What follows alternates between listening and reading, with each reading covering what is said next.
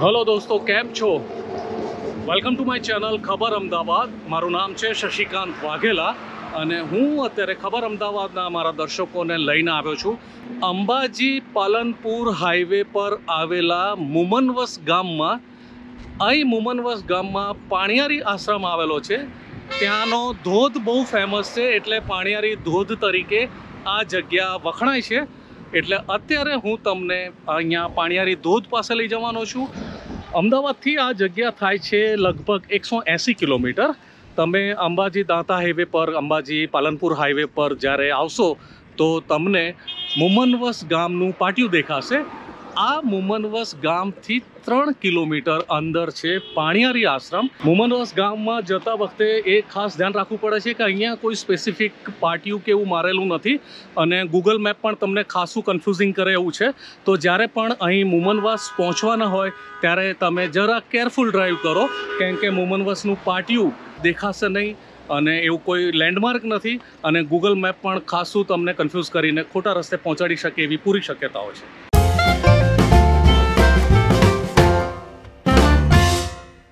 Main highway છોડીને જ્યારે તમે મુમનવાસ ગામમાં પ્રવેશો છો પાણિયારી આશ્રમ જવા માટે, ત્યારે તમારે બિલકુલ ધ્યાન રાખવું પડે છે કેમ કે સિંગલ પટ્ટી રોડ છે અને ગામમાં પણ તમે કન્ફ્યુઝ થઈ જાય એવા છો. ગામમાં એમણે આમ તો એરો મારેલા છે. એનું બિલકુલ ધ્યાન રાખતા રહો. સિંગલ પટ્ટી રોડ છે, બહુ સાંકડો રોડ છે, એક વેહિકલ આવતો હોય તો બીજા વેહિકલને જવામાં પણ તકલીફ પડે એ રીતનો છે. પણ આજુબાજુ ગ્રીનરી જબરદસ્ત છે. આખો રસ્તો એકદમ સર્પાકાર ઝિગઝેગ થતા થતા તમને મુમનવાસમાં, આ પાણિયારી આશ્રમમાં પહોંચાડે એવો રસ્તો છે. હા થોડું ધ્યાન રાખવું પડે એવું છે, કેમ કે બહુ જ કન્ફ્યુઝિંગ થઈ જાય એવી જગ્યા છે. એટલે જ્યારે પણ આવો ત્યારે પૂછો, બે જણને પૂછો અને આરામથી તમે પાણિયારી આશ્રમ પહોંચી જશો.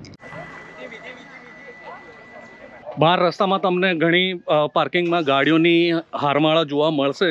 ત્યાં તમે પાર્કિંગ ન કરવા માંગતા હોય અને થોડે ઉપર જો તમારી ગાડી લઈને આવવા માંગતા હોય, તો અહીંયા ગામવાળાઓએ પાર્કિંગની થોડી સુવિધા કરી આપી છે. નો ડાઉટ એ લોકો એક ગાડી દીઠ ફિફ્ટી રૂપીસ ચાર્જ કરે છે. પચાસ રૂપિયાનો એ ચાર્જ લે છે એક ગાડી પાછળ. પણ અહીંયા છેક તમે નજીક, તમારા ડેસ્ટિનેશનની નજીક સુધી આવીને એક સેફ જગ્યાએ ગાડી પાર્ક કરી શકો એમ છો. તો એ રીતે જોતા ફિફ્ટી રૂપીઝ એક ગાડીના વધારે ના કહી શકાય, પણ ઠીક છે, ગાડીની સલામતી અને વધારાનો સામાન આપણો ત્યાં સલામત રહી શકે એમ છે.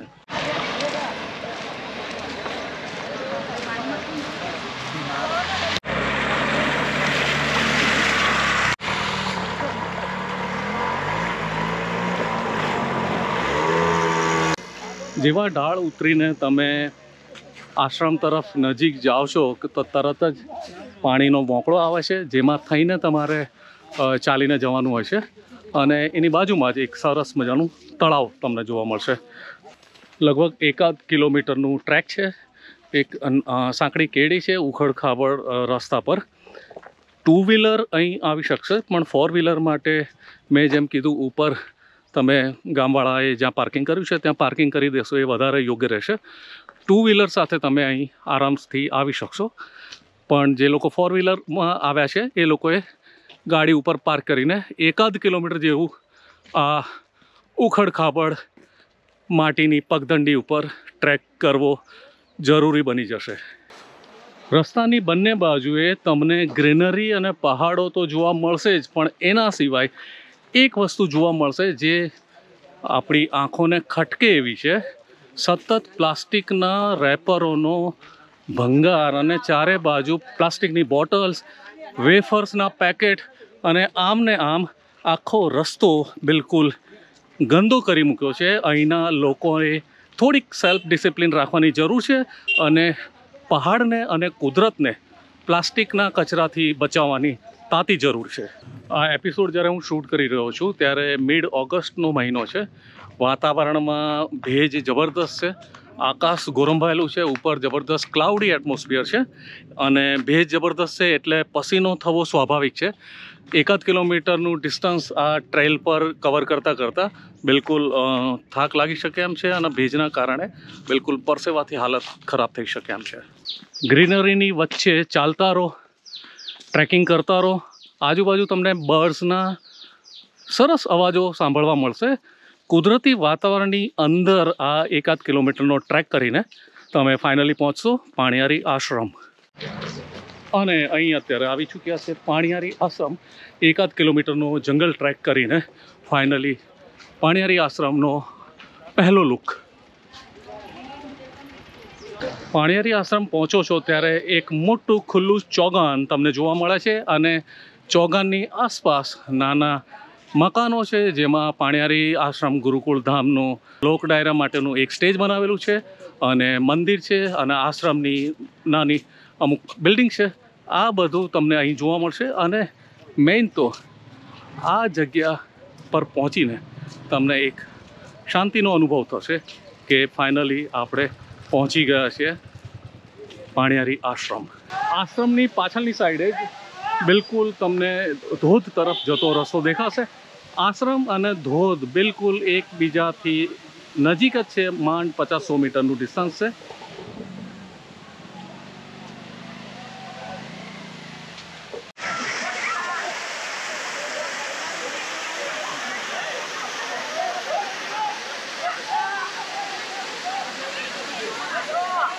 મારી પાછળ જે જોઈ રહ્યા છો, એ છે પાણિયારી ધોધ. પાણિયારી આશ્રમની જસ્ટ પચાસ સો મીટરના ડિસ્ટન્સ પર આ ધોધ છે. અહીં પાણિયારી આશ્રમ આવવાવાળા લોકોનું મુખ્ય આકર્ષણ છે આ પાણિયારી ધોધ.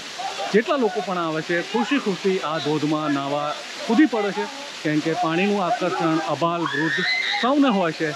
તમે પાછળ લોકોને પોતાની મસ્તી કરતા જોઈ શકો એમ છો.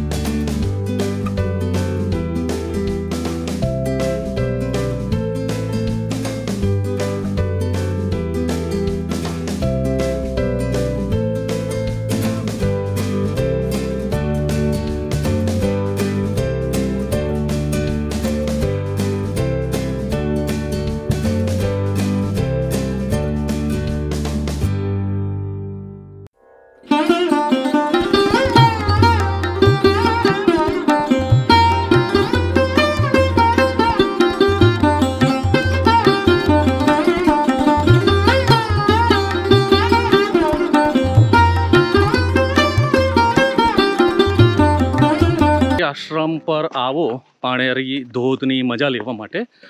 તો એક વસ્તુ ખ્યાલ રાખજો કે ખાવા પીવાની વસ્તુઓ લઈને આવજો, કેમ કે અહીંયા રસ્તામાં તમને આચર કુચર વેફરના પડીકા સિવાય બીજું કંઈ ખાસ મળતું નથી. અને હા, પાણીની વ્યવસ્થા ખાસ કરીને આવજો, કેમ કે આશ્રમ હોવા છતાં અહીં પીવાના પાણીની કોઈ વ્યવસ્થા નથી. સામાન્ય જન આશ્રમમાં જાય તો એને ખાણીપીણીની વ્યવસ્થા, ખોરાક પાણીની વ્યવસ્થા મળે એ તો એક સ્વાભાવિક ઈચ્છા રાખતો જ હોય સામાન્ય જન પણ અહીં એ વાતનો સદંતર લોપ થયેલો છે, કેમ કે અહીં પીવાના પાણીની પણ સુવિધા નથી. તમારે પીવાનું પાણી પણ ખરીદીને પીવું પડે એ હાલત છે. બોટલ ખરીદો અને પાણી પીવો. આ વસ્તુ થોડીક આશ્રમની વાત માટે થોડીક નેગેટિવ જઈ રહી છે. નામ ભલે હોય પાણીયારી આશ્રમ નાવા ધોવા માટે પૂરતું પાણી છે, પણ પીવા માટે પાણી નથી. પાણિયારી આશ્રમની આ એક અલગ જ વિચિત્રતા છે. મિત્રો, મુમનવાસ પાણિયારી આશ્રમનો આ વીડિયો કેવો લાગ્યો એ બાબતે મને જરૂર કોમેન્ટ કરજો. આ વિડીયોને લાઇક કરજો શેર કરજો અને ચેનલને સબસ્ક્રાઈબ કરજો. ચેનલનું નામ છે ખબર અમદાવાદ અને એક વાત ખાસ જણાવી દઉં કે ખબર અમદાવાદ નામનું ફેસબુક પેજ પણ છે અને ઇન્સ્ટાગ્રામમાં ખબર અંડરસ્કોર અમદાવાદ નામની પ્રોફાઇલ છે. તો ઇન્સ્ટાગ્રામ અને ફેસબુક બંને જગ્યાએ તમે અમને ફોલો કરી શકો એમ છો. તો આ સાથે હું શશિકાંત વાઘેલા તમારા સૌની રજા લઉં છું. આવા જ ફરીથી એકાદ ઇન્ટરેસ્ટિંગ બ્લોગમાં ફરીથી આપ સૌની મુલાકાત થશે. ત્યાં સુધી તમને બધાને જય શ્રી રામ.